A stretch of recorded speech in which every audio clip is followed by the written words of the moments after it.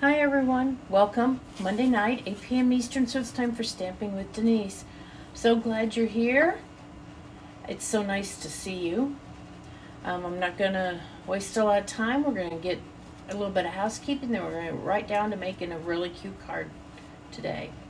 Um, please, if you like my video, please share my video, comment, share down in the comments, and your name may be randomly chosen to win the card I'm working on tonight. Last week I made this cute celebration card, and this is going to go to, let me see here, Darlene Clark. So Darlene, I'll get this card out to you. Thank you so much for sharing my video, and thank you to everybody who does that. I appreciate it. If you can't share, I understand. At least give my video a heart. Um, Facebook likes the hearts better than the thumbs up. It helps it um, do better on the algorithm. So that helps me out too. You're watching on YouTube, welcome. Um, if you haven't done so already, please subscribe to my channel. And once you do, hit the little blue button and you'll receive notifications whenever I upload a new video. And that's most Monday evenings. Now, I won't be here next Monday because it is Memorial Day here in the U.S. But then I will be back the following week, okay? So I'm going to switch hand or switch views down to my hands and we're going to get started on a really cute card. Okay, so the card we're going to work on today is this one here. And this uses the Cheerful Daisies bundle. I just love this bundle. It is so versatile. Um, so many things you can do with it. And so I'm going to show you how to make this card. I got to look something up in the catalog real quick because I didn't grab the name of something. So, okay. So I think we're ready to go. And we are going to get started with this, making this card. So first of all, this is a piece of shaded spruce. It is eight and a half by five and a half, and of course, like usual, we are going to fold it in half. And then we will use our bone folder to make a nice crease, okay? There we go. Now, we have a, a larger piece of white cardstock. This is five and a quarter by four to go on the inside because it's a dark color, we want to use that for the, to write on on the inside. If we're using a lighter color cardstock, um, we wouldn't need to. Like if this card base was Flirty Flamingo, or Lemon Lolly, or Balmy Blue, or something like that, we wouldn't need that. But the, the green's kind of dark, so we're going to put that there. Um, and before we do anything else on this card, before we attach it, Whoops, I got something I didn't need here. We are going to stamp our sentiment first. Whenever you have the opportunity, I always suggest that you stamp first in case you mess up. Then you can flip it over and use the other side or you, you know, I'd hate to have you do all this work and then not stamp it right after you've attached everything to it. So it's always good to do your stamping first. Because even, even um, um, what am I trying to say? Seasoned stampers don't always get it right the first try, okay? So this, I am stamping this sentiment, wishing you the brightest birthday in Shaded Spruce. And there we go. Even still, sometimes it's a little scary if I stamp on something that's already had some work done on it. It worries me because I hope I don't screw up. You know how that is. So I'm going to go ahead and attach this card front. This piece is four and three quarters by three and a half.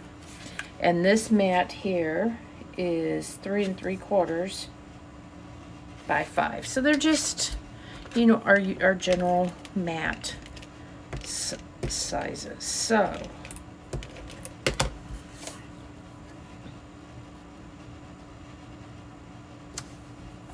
There we go. And I'm going to go ahead and put that on my card base. Okay, there we are. So I am so glad that summer's just about here. We had kind of a rainy weekend here this weekend, but we needed it, so that's okay. Now I'm going to take a piece. You don't know, no, first I, want to, I have some more stamping to do. We're going to stamp this flower here. Okay, so I have two stamps of the flower. This one is the outline. This is the inside.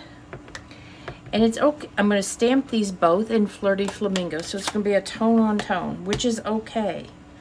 Because, um, I mean, I, I could do them in, you know, different shades of pink. But I think this will work just fine. Okay. There. And this is the color in the inside. Make sure it's all inked up. It's really pretty easy to line up and this is why the photopolymer stamps are so great because you can see through them. Look at that, how nicely that looks. Yay, I'm off a little bit, but you know what? I really, it really doesn't bother me. Sometimes it, that bothers me, not on this. And I've, I've said before, I'll say it again. This is Lemon Lolly, one of our new colors. I like um, stamping flowers and things like that because none of them are exactly the same. So I feel like if it's not perfect, it's okay. Let me see which way. This is the center. Let's see which way I want to put this. I'll put it right like that. And again, it's not perfect, but it's okay because it's the center of the flower. And sometimes it's nice when it's not so perfect, you know? Okay, didn't mean to slam that down. Now we're ready to do some die cutting. We're going to die cut out, we're going to cut this flower out using the outline for the larger.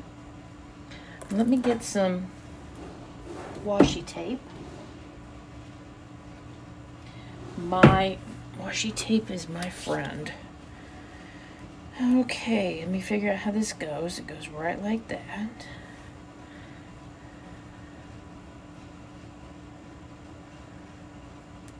So let me get and then I just I just adhere the stamp or the die to a part of the cardstock that's not going to be part of my design. Okay. And now this is a piece of the textured 12 by 12 shimmer paper. I've used this before. It's textured. It's got a little bit of a shine to it. It's the same on both sides.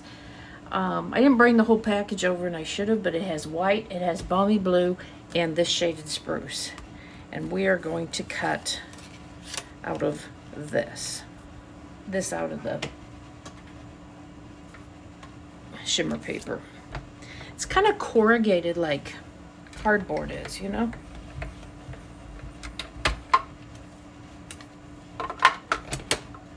Okay.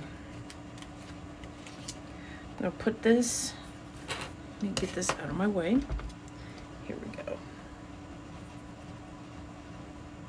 Cut this out first.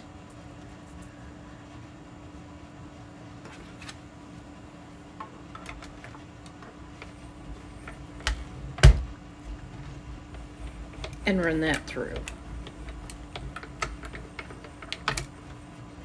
Okay, set that off to the side. And I'm gonna go ahead and cut out the flower. I'm gonna get these little pieces off of here.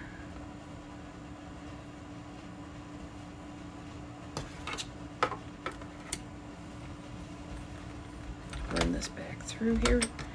Catch, there we go.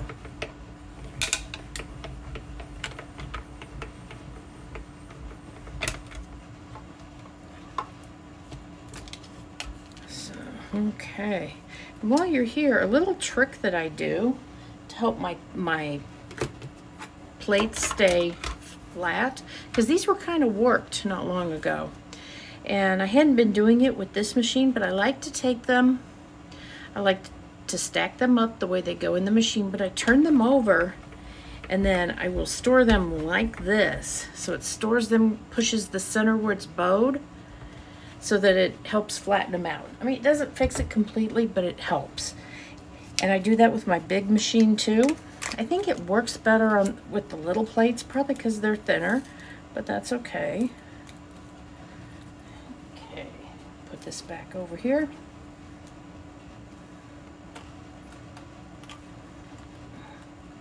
There we go. Okay. And I'm going to take this off of here. There's a lot of little pieces in the in this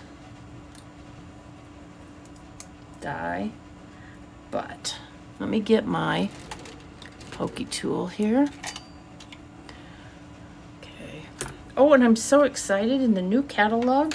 There's some new attachments for the um, U-Pick-It tool. Look at this. There's a blade. There is a, let me show you what else there is. There's a little wheel that cuts like a serrated edge. I don't know if you can see that. There you go. And it has a guard over it. Um, and the other thing that was in there was a, yes, a double edged, this is another pokey tool. And this end has a little hook end. And then other other ones you can buy are, you know, the die brush to loosen things up out of the die. I believe this came with it. I don't remember which came with it, which I bought extra. This is a stylus, you know, for like the embossing tool. And then of course, this is the putty end for picking up tiny small pieces. And there are refills for the putty end. So, although I've had mine since it came, the it the tool first came out and I've never I'm still on my first one so.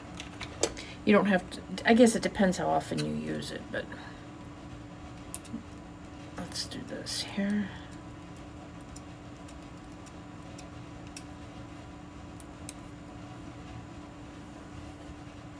I'm just trying to release this here from the I'm, there is some small pieces in this but um, it's not terrible. But I'm excited about the little knife because you know I always use a knife to put my I like to use it to put my embellishment on. Like a cut grief this is not this hard folks. It's one of those days where I can't talk and chew gum at the same time. There we go. Okay. I'm not now there are some things to poke out right here and here and here. I'm not gonna worry about these because these are gonna be covered up but I'm going to go ahead and poke those out right there. I could have used the die brush too, but I'm not too worried about that. And I think I got everything. It's okay. It works. Let me get rid of the trash. Okay. The only thing that worries me about using this blade end for my embellishments is that it's awfully long. But you know what? We'll use it. That's okay. So we are going to attach this piece right here. And I got pieces falling out. I'm trying to decide the best way to do this. I'm going to try a little bit of, I'm going to try some of my Tombow adhesive glue. Okay. And I'm going to get a piece of scrap paper here to do this on.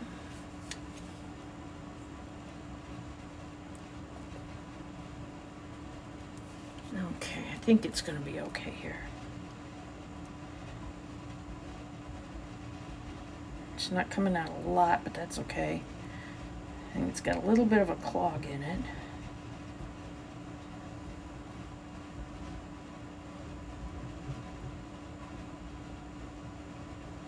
If not, I can use glue dots too. And I'm not going to put all of this adhesive on all of these petals.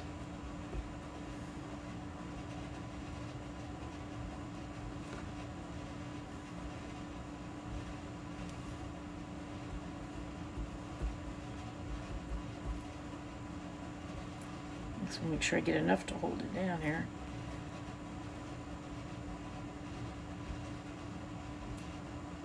One of cards I made a couple weeks, I don't know, I don't remember when it was, I got too much glue on it. And I had to take some off. Okay.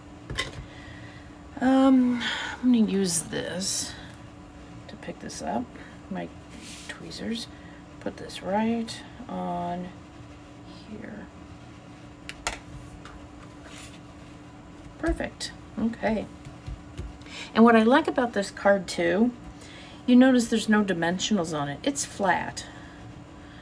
Um, so it's not going to be bulky to mail. And I did that on purpose. Um, and you know, again, I think I'm going to use this glue because sometimes the um, seal doesn't stick to the, you know, things that are corrugated or bumpy or textured. Hold on here, guys. Hold on. I have a little paper clip here that sometimes I use to... Oops, now I'm getting a good amount out, okay.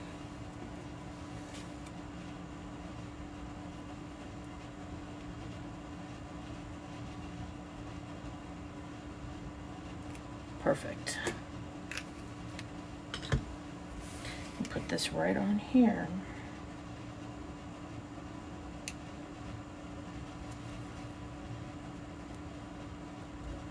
There we go.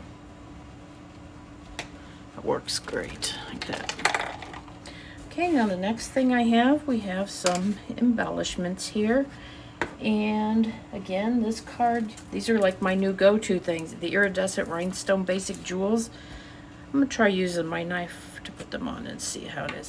Because they're great, because they, they pick up any color. They're kind of like the rhinestone, you know, gems um, and if sometimes they'll kind of take on the color of your project too. So, um, got a little bit of glue there. I'm gonna get that off of there.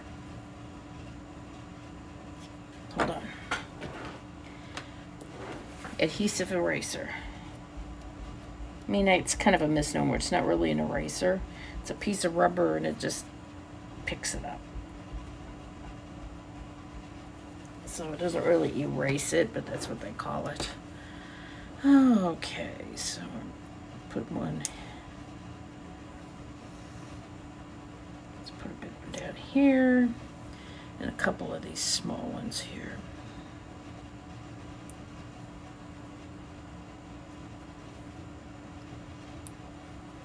There we go. And there you are. That's a great birthday card for anyone. I think you could certainly alter the colors. If you didn't have this, um, um, oh, like I said, textured shimmer paper, I think you could use another color cardstock and it would work well. Um, this stamp set, not along with the brightest birthday wishes, it also has the you made my day, oops daisy, I'm so sorry, and your friendship means anything. Um, sentiments in this stamp set, so it's really quite versatile. But I hope you like the card. Now remember, I won't be here next week because it's Memorial Day, but I will see you on, let me look at my calendar, that'll be Monday, June 5th. Okay, guys? I will see you in June. Take care and have a great couple weeks and be crafty. Bye now.